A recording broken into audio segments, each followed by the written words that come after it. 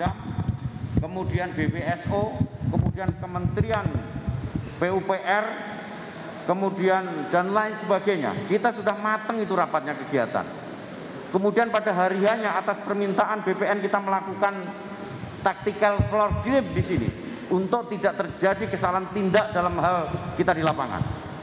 Rekan-rekan wartawan perlu saya sampaikan bahwa masuk di daerah Wadas ini tidak gampang. Ini hanya jalan setapak satu mobil masuk. Untuk ke daerah TKP kita pakai motor itu. Kemudian dari personil yang kita kerahkan adalah 250 personil. Sudah sesuaikan kekuatan dan hakikat ancaman yang nanti timbul di sana. Di sana tidak ada ancaman. Kita hanya backup 10 tim dari BPN, saya ulangi, 10 tim BPN di mana yang akan diukur adalah 114 hektar 346 bidang. Nggak mampu itu kalau kita jangkau. Sehingga kita perlu masing-masing tim kita bekali 20 personil untuk nempel di tim-tim BPN karena yang diukur itu banyak. Jalan setapak ke sana. Dan itu kita bagi habis 10 tim dengan harapan kecepatan kan kita lakukan. Itu pertama. Sehingga tidak ada anggota Polda ribuan masuk kampung tidak ada. 250 Kemudian yang kedua, perlu saya sampaikan kepada rekan-rekan wartawan, Polda atau Polri sebagai fasilitator, dinamisator, dan pendampingan pelaksanaan kegiatan.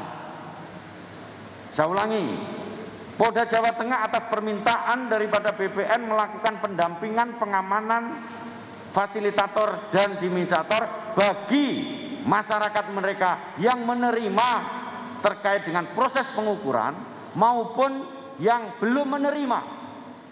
Kita fasilitasi. Berjalannya waktu rekan-rekan sekalian berjalannya waktu dari kegiatan yang kita lakukan timbul di sana kemudian kita melakukan ekses bagaimana melindungi hak masyarakat kita yang pengen diukur dari 346 orang Kemudian ada 36 bidang lagi masyarakat kita yang belum menerima. Di sana terjadi kontak yang menerima dan tidak. Kemudian kita amankanlah kemarin sebanyak 64 orang yang sekarang ada di Polres Purworejo yang hari ini akan kita kembalikan kepada masyarakat agar tidak terjadi confuse antara masyarakat yang menerima dan masyarakat yang belum menerima. Jadi tidak ada penangkapan, penahanan dan lain sebagainya yang kita lakukan. Nanti silakan cek rekan-rekan sekalian. Hari ini akan kita bebaskan dan akan kembali kepada masyarakat agar pelaksanaan pengukuran ini berjalan dengan baik. Dan benar pada saat di lapangan memang di framing dari beberapa kejadian yang muncul di sana contoh misalnya pada saat pelaksanaan pengamanan antara yang menerima dan tidak di lingkungan masjid munculkan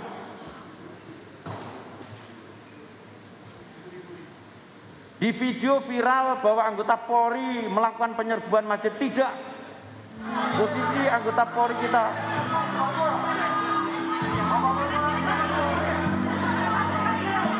Stopkan mana? Stop. Eh, belum. Sebelumnya. Sebelumnya. Kamu yang di sana, Bal. Yang membelakangi masjid. Posisi anggota kita adalah membelakangi masjid. Karena pada saat itu yang duduk-duduk dan yang di luar akan terlibat kontak fisik. Di mana yang kontra dikejar-kejar yang pro masuk masjid. Kemudian anggota kita melakukan parameter agar tidak terjadi adanya benturan. Ada salah satu masyarakat kita yang belum menerima memakai pakaian pendek masuk ke masjid kemudian kita amankan jaminannya adalah ada anggota TNI Kasat Serse dan Kapolsek munculkan di sana. Kita amankan dia biar tidak diserang oleh kelompok yang pro. Mana di situ munculkan.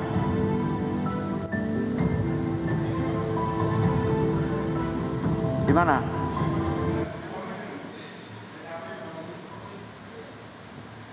Ya. Sehingga pada saat itu dirasa aman maka kita amankan mereka. Ini langkah-langkah yang kita lakukan. Bahkan anggota kita ya ini ini prosesnya. Dari luar kita. Bahkan dir Pam Ovid pun melaksanakan sholat berjamaah di sana dengan masyarakat. Tidak ada apa-apa. Tetapi framing di luar tergambarkan bahwa kita menyerbu masjid. Nggak ada itu. Boleh cek nanti kalau videonya lain pada saat pelaksanaan sholat.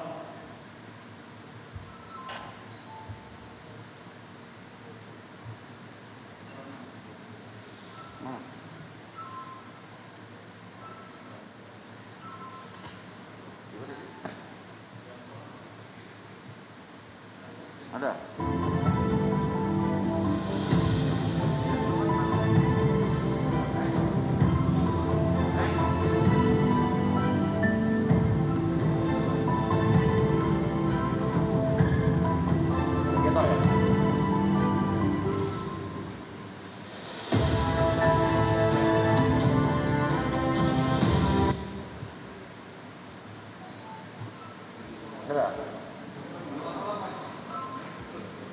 Jadi rekan-rekan sekalian bahwa perlu kami luruskan bahwa tidak ada kejadian pengepungan masjid di dalamnya. Adanya adalah bagaimana kita mengamankan masyarakat kita yang ingin perlindungan di dalam, kemudian kita amankan. Itu yang pertama. Kemudian yang kedua, ada informasi anggota kita melakukan penculikan. Sebenarnya tidak begitu. Pada saat hari H sebelum pelaksanaan, kita mengamankan salah satu orang yang telah kita lakukan pemeriksaan dan pada saat dilakukan pemeriksaan yang bersangkutan mengakui bahwa mereka mempunyai akun kemudian eh, dia ada. Dia tidak diculik diamankan. Istrinya pun tahu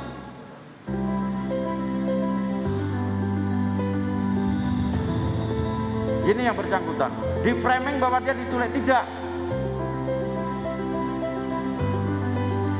Jadi pemberitaan-pemberitaan ini hari ini perlu saya luruskan.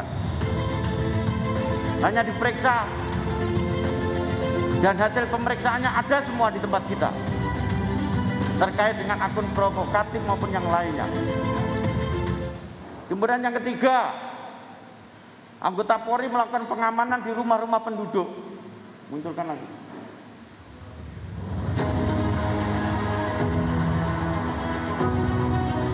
Di rumah. Perlu saya sampaikan ke rekan-rekan sekalian bahwa yang melakukan provokatif entah itu dari mana asalnya, mereka dikejar-kejar oleh masyarakat yang menginginkan tanahnya untuk dilakukan pengukuran sehingga kita amankan di rumah yang sekarang semua kita amankan di sini dan hari ini akan kita lakukan setelah dilakukan pemeriksaan akan kita kembalikan kepada masyarakat. Sekali lagi saya sampaikan bahwa kegiatan yang kita lakukan sesuai dengan SOP tidak ada penembakan, tidak ada sifatnya kekerasan yang dilakukan prinsip bahwa Polda Jawa Tengah dalam hal ini Polres dan jajaran memfasilitasi kegiatan-kegiatan yang dilakukan dalam rangka proses pengukuran yang telah dilaksanakan. Insya Allah hari ini dan besok akan selesai kegiatan yang dilakukan. Terima kasih. Assalamualaikum warahmatullahi wabarakatuh.